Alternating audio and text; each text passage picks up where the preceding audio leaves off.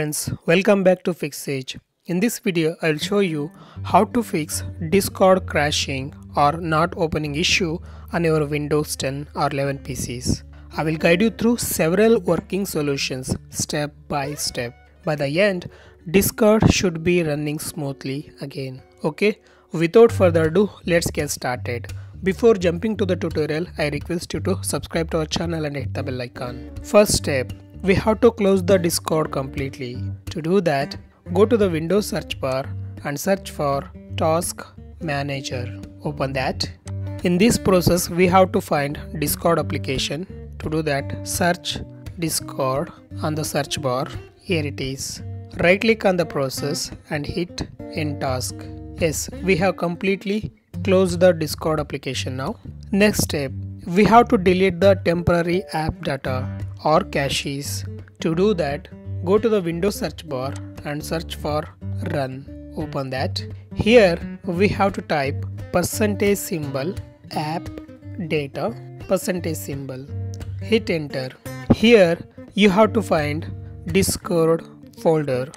Open that. And now you have to find caches folder. There are three folders available. So first right click on the cache folder, hit delete. Next right click on the code cache folder, then hit delete. And finally locate the GPU cache, right click on that and hit delete. We have deleted three folders here. Don't worry, these are temporary app data folders will recovery once you open the Discord application. So once you're done, close the window. And now try to open the Discord application. If it's still not working, don't worry, move to the next step. That is, we have to run the Discord as administrator. Right click on the application, select properties, go to compatibility tab, select the disable full screen optimizations and select run this program as an administrator. Say apply and OK. And now open the Discord and this problem will be solved. If it's still not working, we have to update or reinstall the Discord.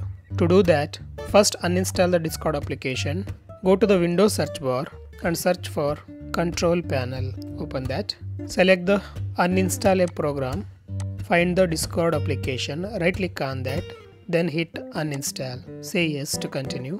After uninstallation, open any browser and search for Discord download. Hit enter. You will find discord.com slash download. Open that. There you will find download for Windows. Click on that.